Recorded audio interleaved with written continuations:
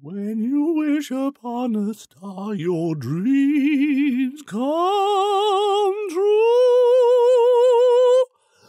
Uh, shit.